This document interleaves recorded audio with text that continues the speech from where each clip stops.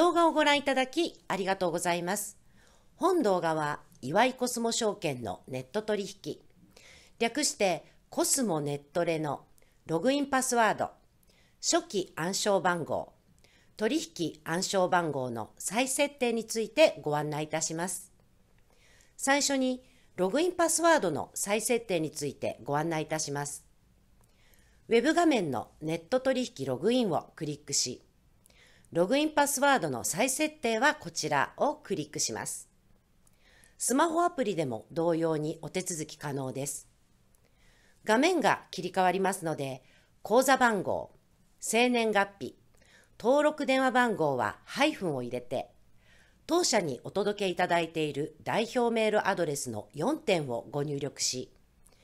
実行ボタンをクリックすると、このようなメールが届きますので、URL をクリックしてください。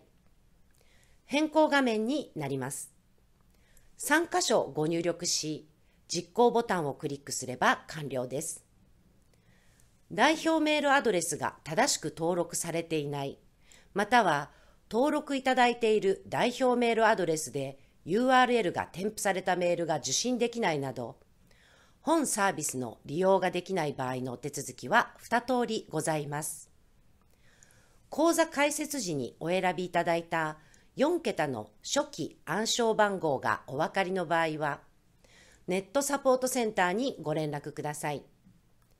ログインパスワードを初期暗証番号にリセットいたしますので、リセット後、初めてログインする際に、ログインパスワードの再設定ができます。初期暗証番号を失念している場合は、郵送での書類のご提出によるお手続きをお願いしております。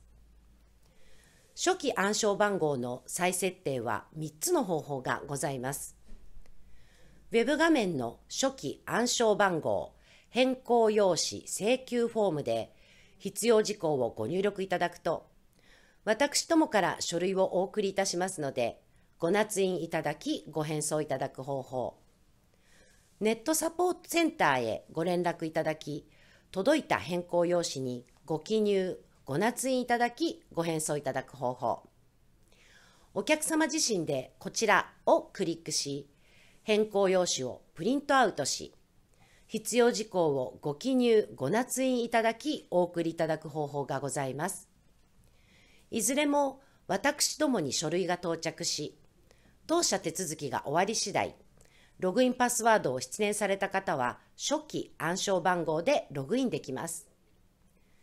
ログインパスワードの変更画面が表示されますので変更してください。なお、初期暗証番号を再設定した場合、取引暗証番号も初期暗証番号に上書きされますのでご注意ください。続いて、取引暗証番号を忘れた場合のご説明をいたします。ログイン後のお客様情報画面の取引暗証番号の再設定はこちらから設定申し込みができます。先ほどと同じようにメールに添付された URL をクリックしお手続きくださいませ。URL が添付されたメールが届かない場合で、初期暗証番号がお分かりの方はネットサポートセンターへご連絡ください。初期暗証番号がご不明な場合は、先ほど同様、ウェブ上のログイン、お取引にお困りの場合はこちらをクリックし、初期暗証番号変更用紙請求フォームをご利用いただくか、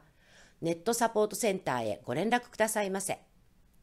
最後に、口座番号を失念された場合ですが、郵送による開示のみの対応をさせていただいております。以上、コスモネットレのログインパスワード、初期暗証番号、取引暗証番号の再設定についてでした。動画を最後までご覧いただきありがとうございました。